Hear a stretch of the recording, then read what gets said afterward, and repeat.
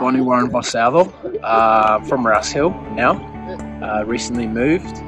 Um, here at the Two Blues, fresh face, uh, loving it so far.